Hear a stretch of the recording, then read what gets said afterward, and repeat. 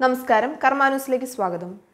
കാസർഗോഡ് ലോക്സഭാ മണ്ഡലത്തിൽ കള്ളവോട്ട് നടന്നു എന്നതിന് വീണ്ടും തെളിവുകൾ പുറത്തു വന്നിരിക്കുന്നു. യഥാർത്ഥ വോട്ടർ വോട്ട് ചെയ്യാൻ വന്നപ്പോൾ അവരുടെ വോട്ട് മറ്റാരോ ചെയ്തു പോയി എന്നും ഇനി വോട്ട് ചെയ്യാൻ പറ്റില്ലെന്നും പറഞ്ഞ് തിരികെ അയക്കുകയായിരുന്നു. പിലാത്തറ സി എം നഗറിലെ കെ ജെ ഷാലറ്റിനാണ് ഈ അനുഭവം.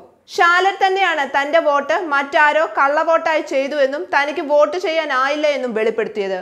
ആ അനുഭവം ഷാലറ്റ് പറയുന്നത് ഇങ്ങനെ കണ്ണൂരിൽ നിന്നും പിലാത്തറയിലേക്ക് താമസം മാറിയതിനു ശേഷമുള്ള ആദ്യ വോട്ടായിരുന്നു ഇത്തവണത്തേത്. വോട്ടെടുപ്പ് ദിവസം വൈകിട്ട് നാല് നാൽപ്പത്തഞ്ചിനാണ് ബൂത്തിലെത്തിയത്. അരമണിക്കൂറോളം വരി നിന്ന ശേഷം തിരിച്ചറിയൽ രേഖയും സ്ലിപ്പുമായി ബൂത്തിൽ കയറി. ക്രമനമ്പർ പറഞ്ഞപ്പോൾ നിങ്ങളുടെ വോട്ട് രേഖപ്പെടുത്തിയതായി കാണുന്നുവെന്നും പോളിംഗ് ഓഫീസർ പറഞ്ഞു. അല്പസമയം ഇരിക്കുവാനും പരിശോധിക്കട്ടെ എന്നും പറഞ്ഞു. അരമണിക്കൂറോളം ഞാൻ പോളിംഗ് ബൂത്തിലിരുന്നു വീണ്ടും ഉദ്യോഗസ്ഥരോട് എനിക്ക് വോട്ട് ചെയ്യണമെന്ന് ആവശ്യപ്പെട്ടു. എന്റെ തിരിച്ചറിയൽ കാർഡും മഷി പുരട്ടാത്ത വിരലും കാണിച്ചു.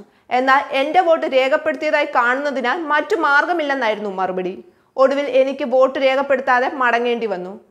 യഥാർത്ഥ വോട്ടറുടെ വോട്ട് ഇപ്രകാരം മറ്റാരെങ്കിലും ചെയ്താൽ യഥാർത്ഥ വോട്ടർക്ക് വോട്ട് ചെയ്യാൻ അനുവദിക്കുന്ന സംവിധാനമാണ് ടെൻഡേഡ് വോട്ട് സ്വന്തം വോട്ട് മറ്റാരെങ്കിലും ചെയ്തെന്ന വോട്ടറുടെ പരാതി സത്യമാണെന്ന് ബോധ്യപ്പെട്ട പ്രിസൈഡിംഗ് ഓഫീസർ അവർക്ക് ടെൻഡേഡ് ബാലറ്റ് പേപ്പർ വഴി വോട്ട് ചെയ്യാനുള്ള സൗകര്യം നൽകണമെന്നാണ് ചട്ടം.